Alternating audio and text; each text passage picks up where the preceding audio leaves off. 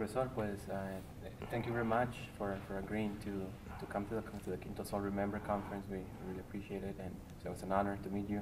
And uh, we also want to thank you for accepting uh, to give us this interview and, and your um, further remarks on Quinto Sol and, and, and the literature and the Premio Quinto Sol and Tomas Rivera and Rudy Anaya and the importance that uh, publishing house for the consolidation of Chicano literature and, and Chicano culture, and also for the possibility of Chicano culture to be studied as such. So mm -hmm. I mm-hmm. wonder if you can, if you wanted uh, to begin with general comments. On that.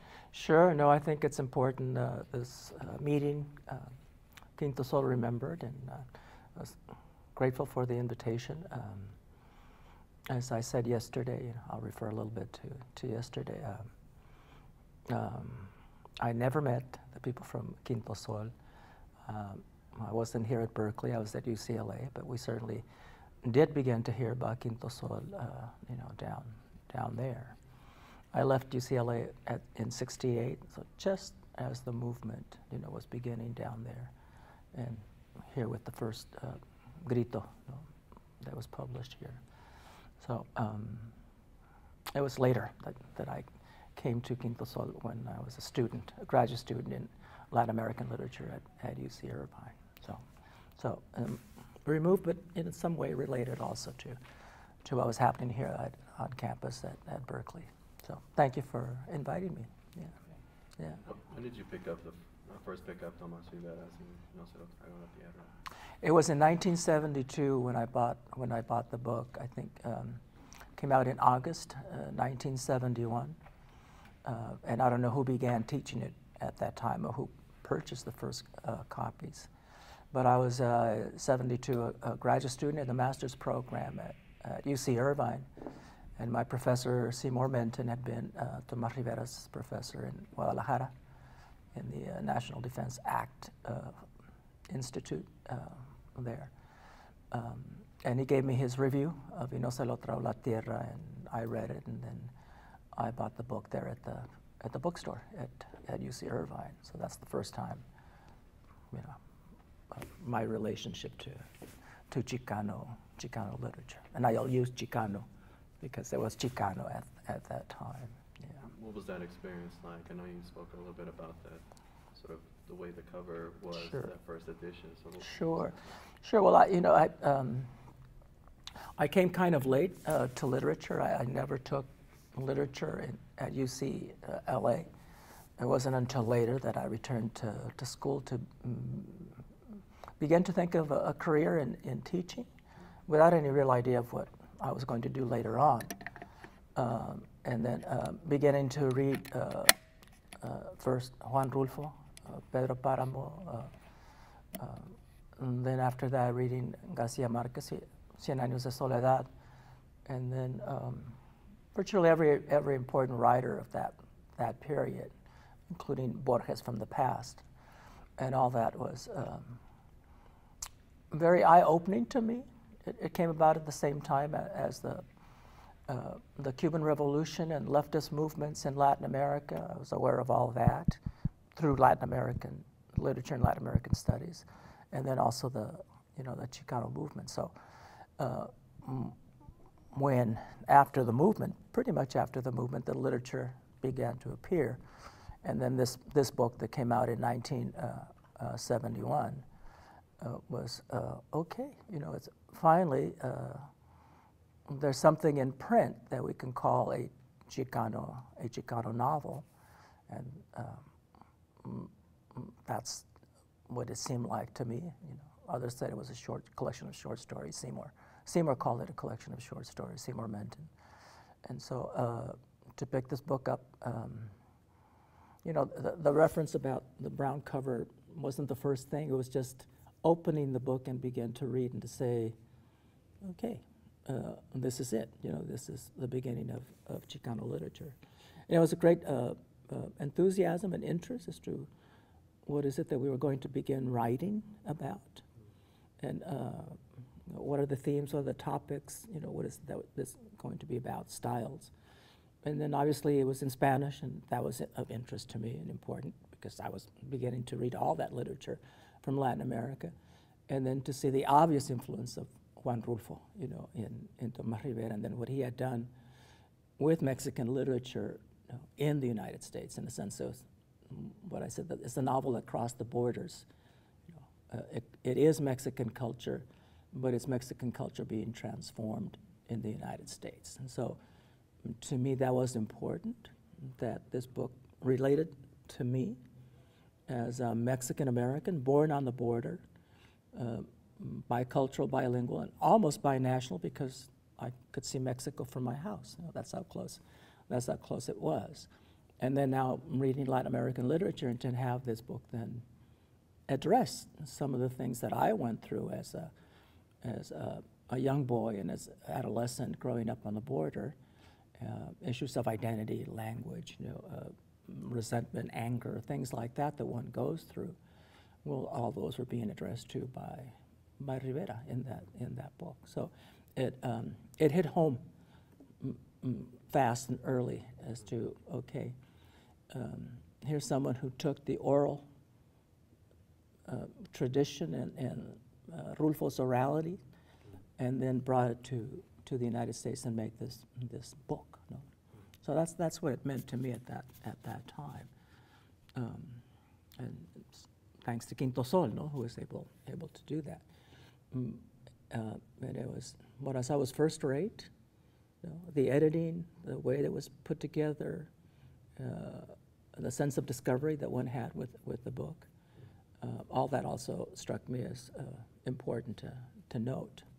And the strength of, of the writer and yes, indeed, this, this was very, very good writing you know, that we had in this very first, in this very first novel. So all that, you know, is important to me. And the history, that it wasn't the Chicano movement, but what led up to the Chicano movement. Uh, yeah. And farm worker culture and laborers. I mean, everyone's a laborer, and the, all the characters are farm workers. I don't know how many novels you have where every single character is a laborer, no, is a farm worker. Um, and then you put that against the experiences of farm workers in the United States, but the descriptions usually are from outside in English. And so finally here we had someone who was writing in Spanish about his own, about his own experience. And that's, I think that's also, um, uh, crosses borders in the sense. For American literature, I think uh, it, it, should have a very important place within American lit and also within, within Mexican literature too. So that, that's what I see. Yeah, yeah you're, you're doing you're doing a lot, a lot of work on uh, on Mexico and the possibility of uh, American studies to open up, especially because of that, this idea of uh, the U.S. as a multicultural place that has allowed for uh, novels like this that uh, engage with Mexican culture on this side of the border. So I'm, I'm wondering from uh, about your perspective, looking at from also from somebody that understands the politics cultural politics from Mexico. Uh, what, what, what, how, how do you see that unfolding on the other side, on the south, of the border, I guess? Uh huh.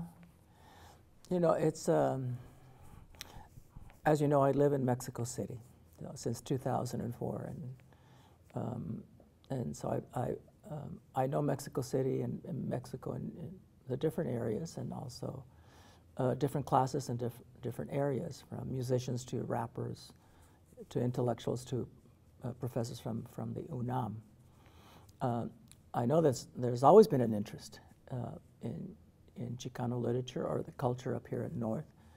There's a, a Centro de Investigaciones de América del Norte at UNAM, so there are researchers who do uh, work with Mexican, uh, Mexican American culture.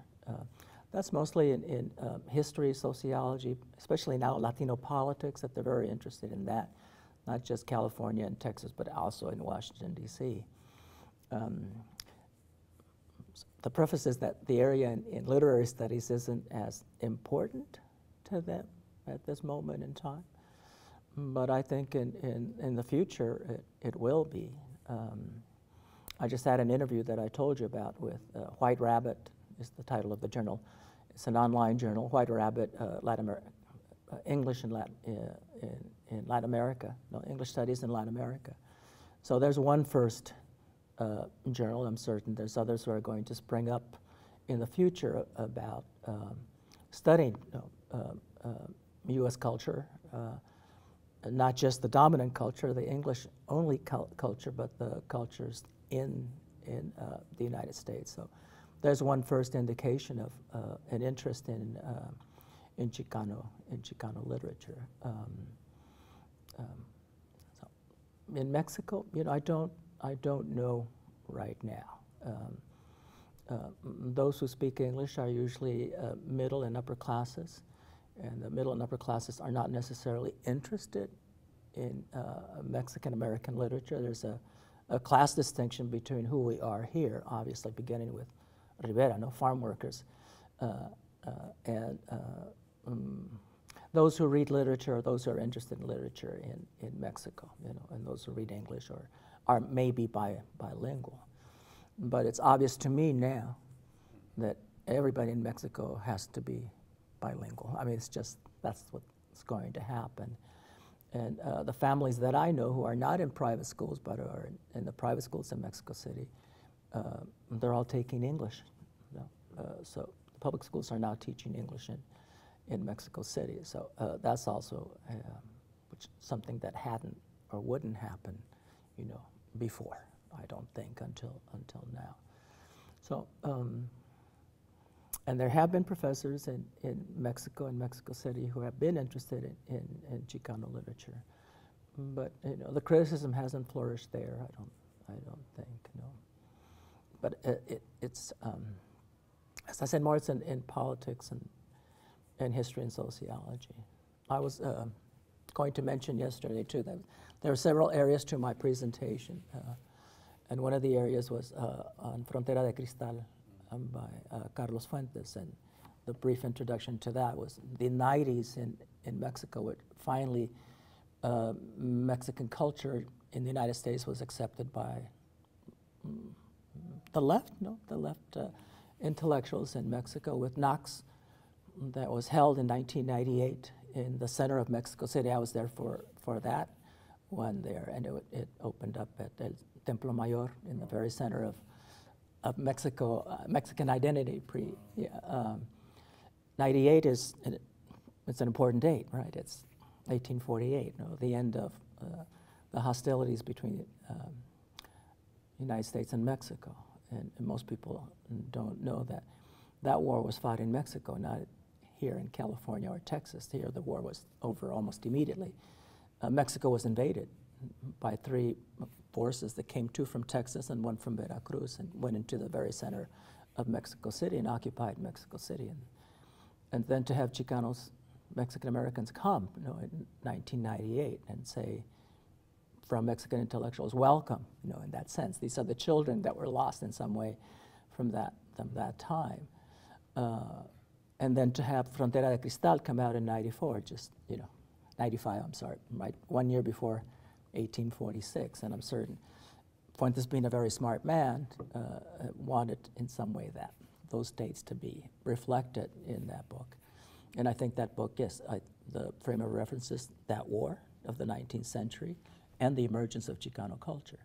And the very, very last uh, character is, is a Chicano, you know, uh, Jose Francisco, in that book. So those are some indications of uh, the acceptance, you know, from at some level from the intellectuals. You know, uh, whether that will happen more in other areas, I, I, I don't know. But to me, those two are important uh, moments, you know, in time. And as I told you also about Maldita Vecindad, uh, I was going to just briefly say something about that too. That they say Chicano culture is uh, was a redefining of, of Mexican culture of going back to historical Mexico and Teatro Campesino, La Virgen de Guadalupe, Los Pachucos, all that and uh, Maldita Vecindad. Um, as I say, nuestra búsqueda is the same as la búsqueda de, de, of Chicanos. So there's a combination there, there too. And that's the founding band of rock, one of the founding bands of rock en español. So there, these are some indications that I have seen. You know, uh, and Frontera de Cristal isn't always seen the way that you know, I see it uh, from that my perspective as a Mexican over here, and a Mexican over there now because I live in Mexico City. So th those are some indications. I'm certain there'll be more, no, and more, no. As, uh, I have uh, friends who are professors in different uh, states of Mexico. One professor from Morelia, Michoacán, Chicago, says, no, pues Héctor, la definición de un mexicano es alguien que tiene un pariente en Estados Unidos. That's how we're going to be defined now, you know. So uh, I think it's, as I said, it's going to happen, no? Uh, and the acceptance and the interest, and we can't make everybody read, but sooner or later people will pick up, you know, uh, um, this literature, you know, from the other side of the border. So. And you, you kind of talked about it a, little, a few seconds ago, but the beginning of this print culture, Uh-huh.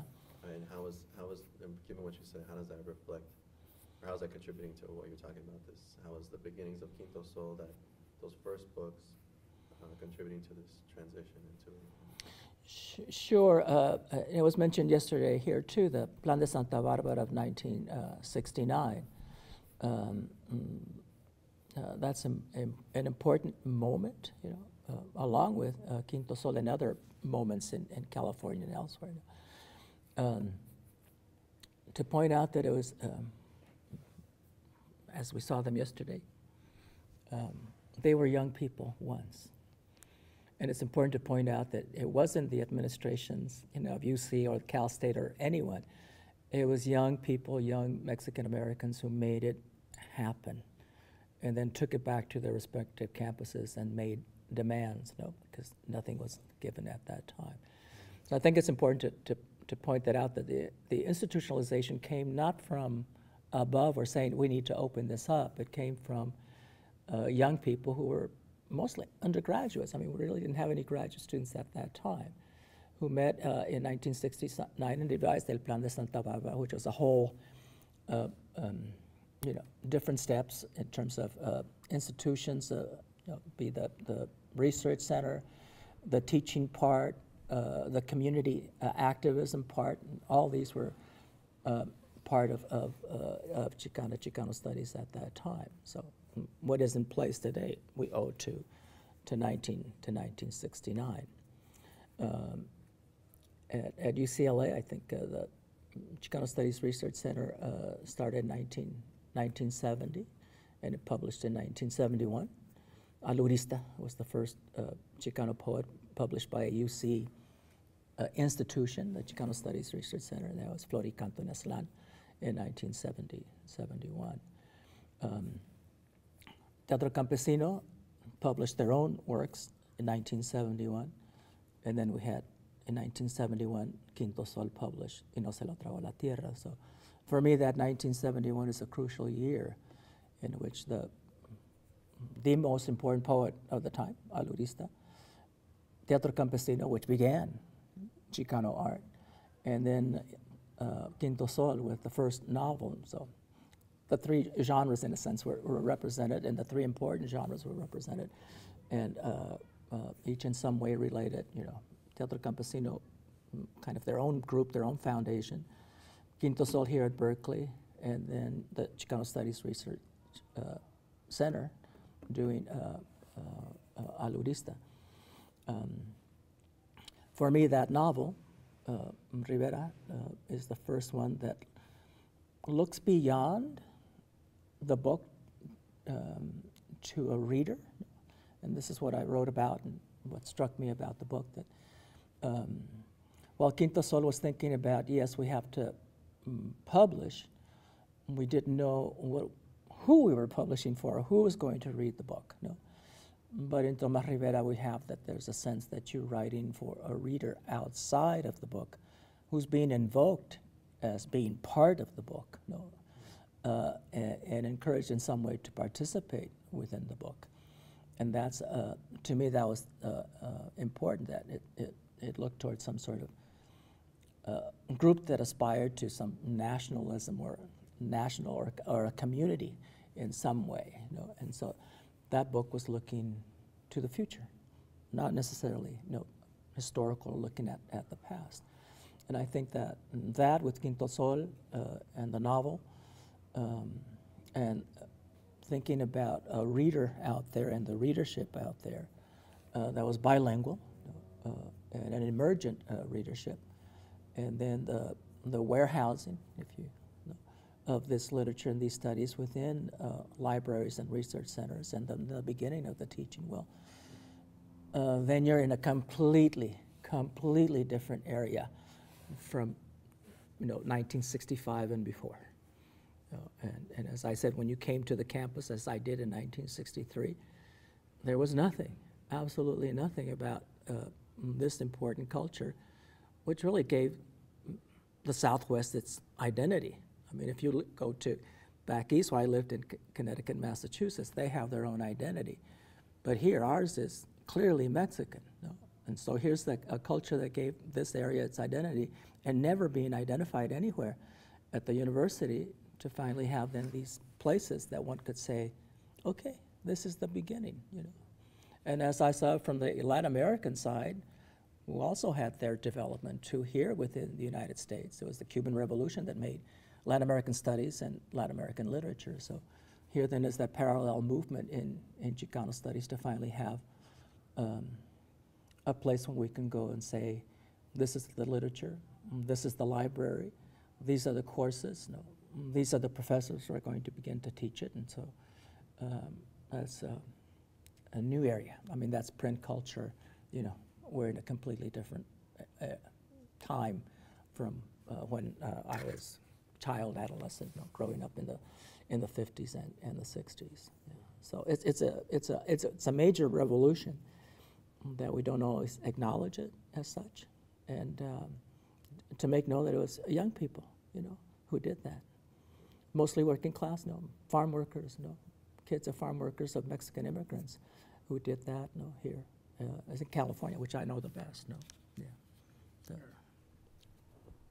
Ear- Earlier, we were talking about um, the different departments where Chicano literature, Chicano culture is taught or has been taught and how that has been changing over time. I wonder if you can, uh, you know, tell us what you were telling us earlier or something along those lines. uh huh. Sure, I'll try. Okay. Um, as I recall, no, it, it was uh, within the Spanish departments that uh, literature um, was accepted in some ways uh, and, and to be to be studied. Um, and I can think of my own personal relationship to UCI, to UC Irvine at, at that time. Um, and professors like uh, Seymour Menton, who was a friend of, of Chicanos, no, um, uh, a friend of Tomas Rivera, who was his professor, um, and that we hired uh, Alejandro Morales, just out of PhD program at Rutgers, to come and teach at UCI. Um, and you weren't seeing that in the English departments. Um, and there were others, you know, I can't recall all of them, but it, it, it was the Spanish departments who were the ones that were hiring and thinking about uh, having uh, this literature taught along with Spanish, Spanish American literature. And it was thought of as a kind of a Spanish American literature at the time. Where to include this on this side of the border, nowhere to include uh, Chicano literature. And so it was thought uh, more at that beginning time, especially with Rolando Hinojosa and, and Tomás Rivera writing in Spanish, that would be more in the Spanish, in the Spanish side. Uh, so that was uh, one of the questions in the institution, still today is part of the questions, you know, uh, do English and, and Spanish departments um, um, overlap? You know, do we need to fire one? I think that's part of the questions right now. Do we need to fire one because they're doing the same kind of work? You know, uh, and at that time, uh, it was the the, the Spanish sections, you know, uh, within the division of the humanities that were teaching this this this literature, not not the English departments. And then with uh, uh, younger students who were trained in, in English and in American studies and uh, American literature, then it began to take more no, towards towards the American side. Uh, and understanding, and sure, clear to me that mm, you know that you know the East-West relations that we had in the 19th century have to be studied. Um, know, the takeover of Mexico by the United States and how that influence and change uh, transformed uh, New Mexico, Texas. You know. So uh, mm, there was work to be done by the English side, and they're still working, still working with that. Whereas um, it seems to me now that the Spanish side has diminished in the importance of what is it, how we're going to uh, direct, you know, uh, Chicano studies or Chicano literature that way. And that the market in the United States is, uh, in some ways, no, uh, an English dominant market that if you're going to write, uh, you're going to have to write, you're going to have to write in English. Um, uh, mm, the book business is a business, and we need to understand that, that too. You're not going to be published you know, if you're not going to sell. You have to sell, otherwise they're not going to publish you. So publishing in English has, has, has, become, has become important, and the writers will choose English and write, write in English. Um, there's very few now who actually write in Spanish. No, uh, Rolando Hinojosa is one of, is one of the few no, who writes, still writes in Spanish. So um, I think those conditions, you know, within, within the academy, uh, the rise of, of, of new um, uh, professors trained in English departments, uh, the interest of Eastern publishers in publishing now Latina and Latino literature, where the Chicano isn't as important as it was before, uh, and a whole new uh, area uh, um, that one can make some money from uh, Latino studies or Latina Latino literature. I think also that that too reinforces the institution. Um, and, and, we work together. You know, they publish our books, we get tenure, and so that's a revolving kind of a thing of, of uh, where we are in, in our in our universities. That, that's the way it, it is. No, yeah. Um, so that's that's what I think of what it has has happened no, uh, with uh, the eh, the language aspect of, of Chicano literature. Yeah. Can you also talk a little bit about the? You said what was what drew these early grad students, early students in, the, in university to the Spanish departments, as far as the the foundations for the like what you were reading, uh-huh. and how this sort of contribute to the development of even like you said, Tomas Rivera's. Sure, um, and again, um, you know, I'm, I'm, not a sociologist, uh, so I don't know at all. What I what I do know is from uh, the kinds of students that went uh, to UCLA in, in the 60s. And they were working class. And what I know more is the Imperial Valley, where, I, where I'm from in Calexico. And, uh, of the 50 Mexican American students that we had at UCLA at the time, uh, 11 were from Calexico. Know. So I know that aspect and who we were and, and, what we were interested in. And when we left Calexico to UCLA, we were Mexicanos. What else would we be? You know? Uh, growing up, you were told that you were not American. You know? And then on the other side, you were told that you were a pocho or whatever. But within our families, we were always Mexicanos. So when we went to, to uh, UCLA, uh, you were Mexican, and, and you were looked at as a Mexican. Then in 67, 68, I became a Chicano. No? And so that connection with Mexico and Spanish was always there, though not of interest to me, you know, not important at all. Why would I want to study Spanish? No, there was no interest in that. And then uh, with the Chicano movement and the, the Cuban Revolution, the movements in Latin America, well, then that all began began to change in my identity or who I was, not just from Calexico Imperial Valley or California, but in a sense, a, a citizen of a larger of a larger area that shared a common history. Well, all that kind of led me to to begin to read uh, Mexican literature, Latin Latin American literature. So. Mm, um, as I said before, Chicano literature, this is, this is what, I was, what I was interested in. And uh, there seemed to be at the time um, an enabling and helping from the professors, like Seymour Menton or Luis Leal, for example, no, who uh, um, encouraged uh, Mexican American Chicano students no, uh, to go to an MA program or even that beyond to a PhD program. And when you think of uh, Rivera and Hinojosa, well, they both did that. You know, they did uh, the PhD programs in Spanish, as I did mine in, in Spanish. So I think in those early years, that was the way you know, to to uh, um, be in the academy and the and to begin um, to study Latin American literature, and not Chicano literature because I, I never took a course in Chicano literature. There was no Chicano literature at the time. No, so you begin uh, your career as I did uh, as a specialist in Latin American literature uh, of the boom, with a minor in comp lit, you know, from Yale, and then over time, well, then it's a it's your sense of commitment you know, to where you came from and your roots to say, okay, um, time has come. I'm going to devise a course in Chicano literature. No, and then that that changes too. So um, I, I don't know. Yeah. So my question has to go, I want to, I want to ask you a, bit- a question. If you have follow-ups too, so that you know, if you're looking for what Oh. something that you want, be, that's fine too. Okay, Yeah, no. yeah. uh-huh. Oh, okay. Uh, so my, my question has to do with uh, genre, genres, and uh, you mentioned earlier that importance of 1971, you know, uh, po- poetry being represented and published, and the n- short story slash novel by Tomas Rivera, and then the teatro from the Teatro Campesino. So I was just wondering if you can uh, explain to us a little bit about the transformation of the from Menton calling it cuentos.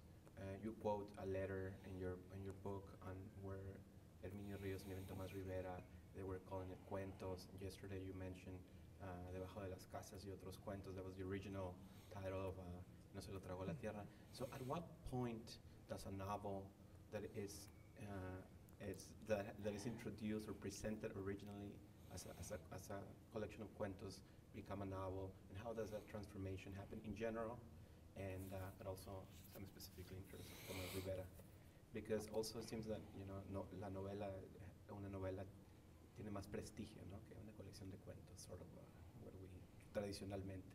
So what what does that? Sure, sure. Yeah, you know.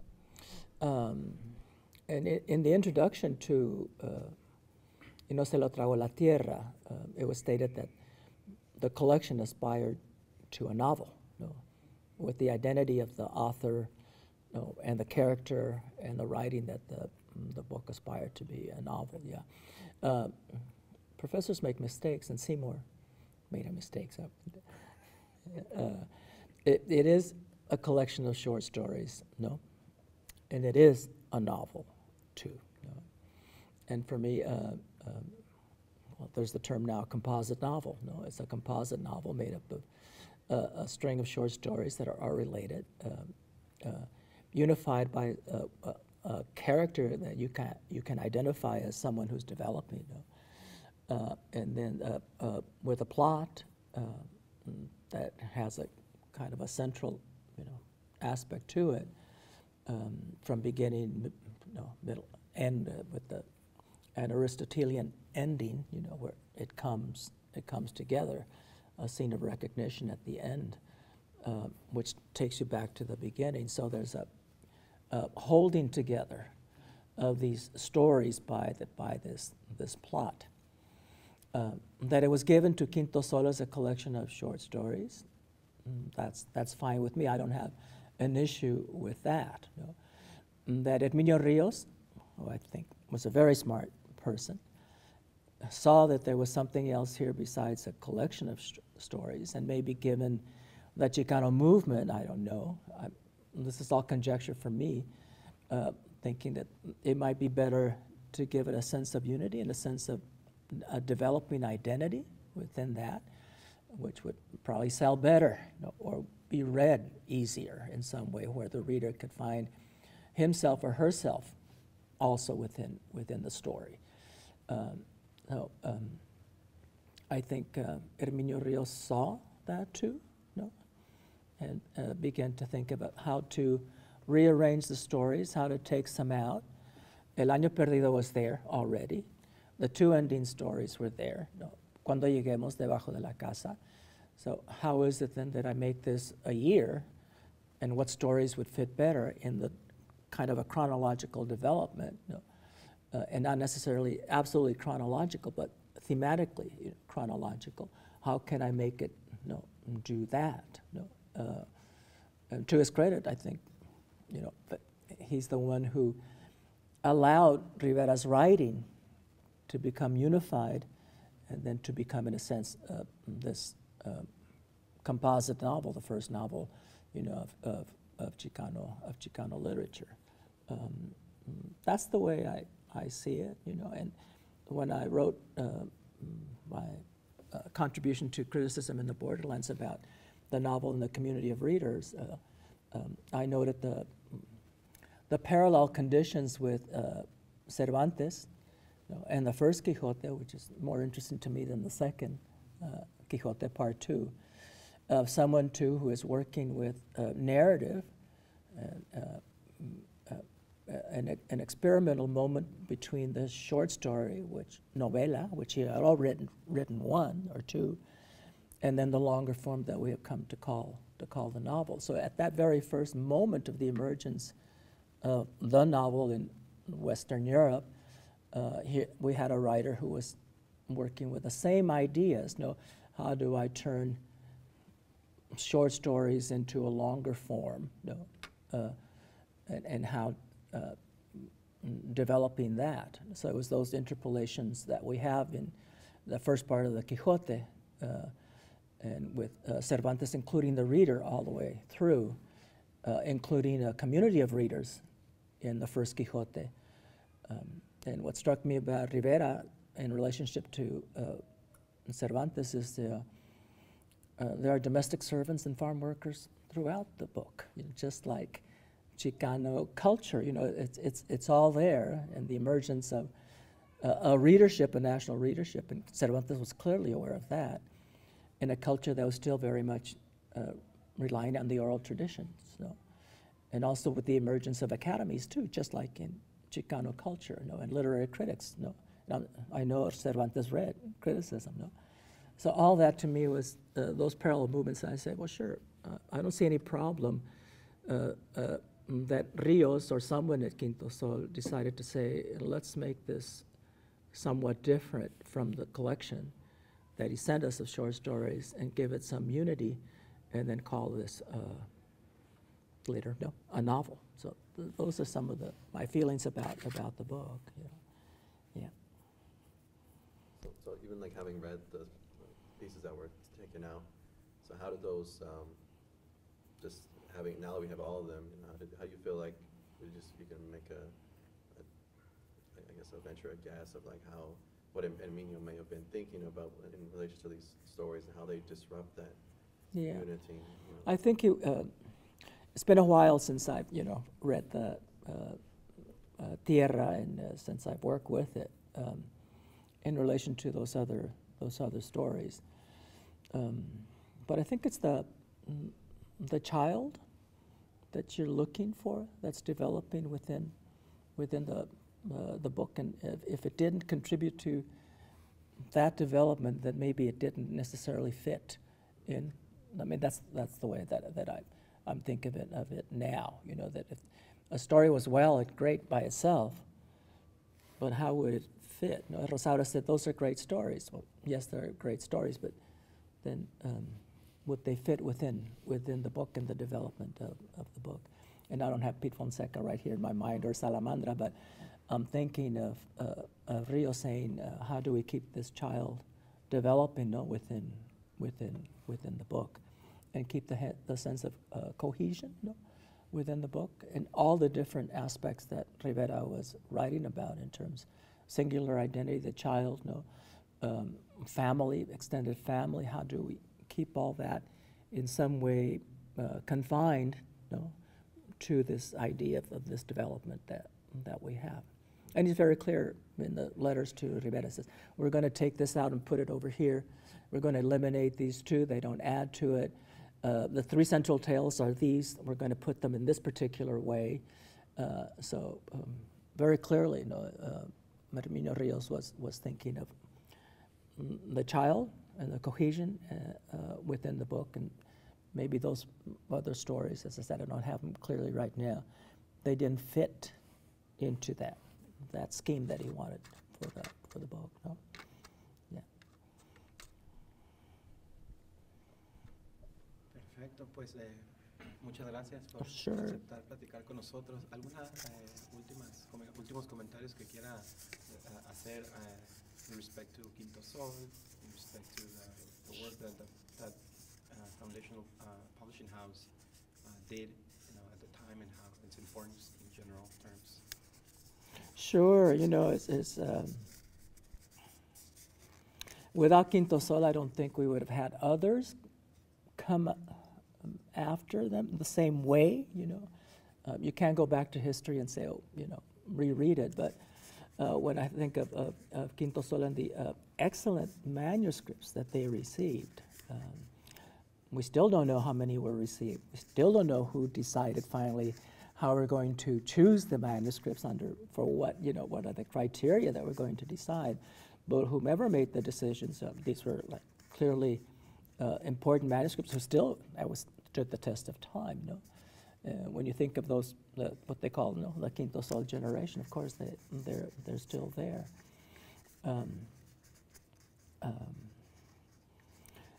and to think that it was um, from what we heard yesterday, kids, they were just coming together uh, and saying we need this and we need that, and then with direction, you know, from a professor uh, Romano, and then someone else coming in who Rios, I think, was an excellent reader, you know, and made uh, and translated uh, Rivera that first one.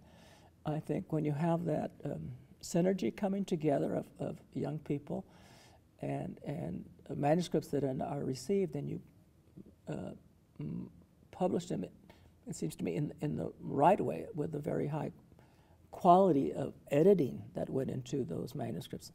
Um, well, then uh, Quinto Sol um, is that moment. You know, is that moment when Chicano print culture began. Know? Then it was just a matter of time for that to find itself to libraries, to be read by others, and then to, you know, to make the rounds to finally say uh, we're all part of this group of readers, uh, and Quinto Sol is the one, one single thing, not necessarily the Chicano Studies Research Center with Alurista, but it was Quinto Sol and the series.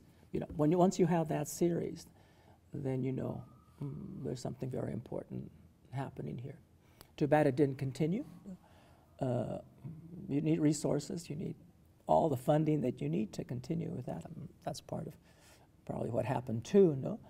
Uh, but yes, to have Quinto Sol, uh, well, it, it's there. I mean, uh, at some point in time, you, you know, 100 years from now, you're still going to say, this is where it began. No, no 1967, no, through 1971, 72, 75, 76. You know, these were the important years of, of the very first, uh, what we come to call, you know, Chicano literature. Yeah. Okay. pues muchísimas gracias. Okay, profesor. no, de nada, a ustedes, gracias. placer.